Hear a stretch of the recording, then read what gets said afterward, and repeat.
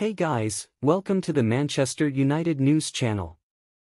Subscribe to the channel to not miss any news, leave your like, and share, you are very important for the growth of the channel, let's go to the video.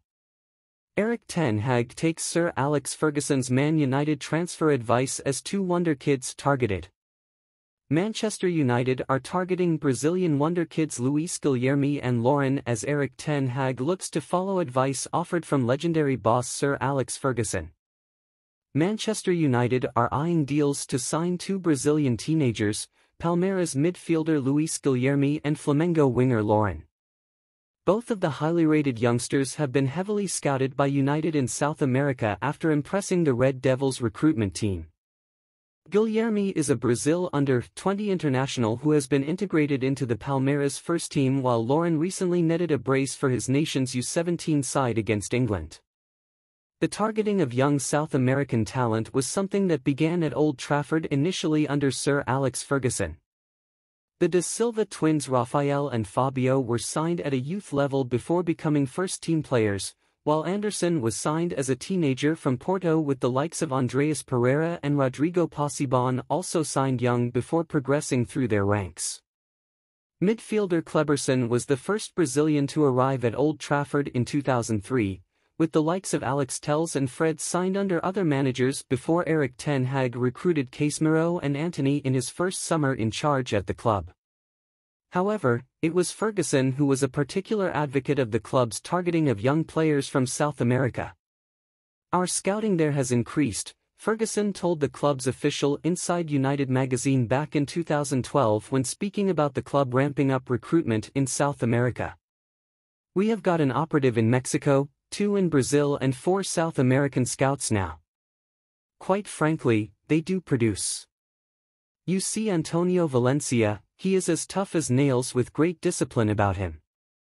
The South Americans love playing football, it is just in their blood. The three Brazilians, Anderson, Rafael and Fabio, love it and are first to training every morning. It is a breath of fresh air. Chicharito, Hernandez, has a fantastic attitude to playing and everything else. It is really good. So we have done very well in Central and South America in the last two or three years. Guilherme has been involved in 23 first-team matches for Palmeiras this term including three times in the Copa Libertadores, while making the jump from Brazil's U16 setup to U20.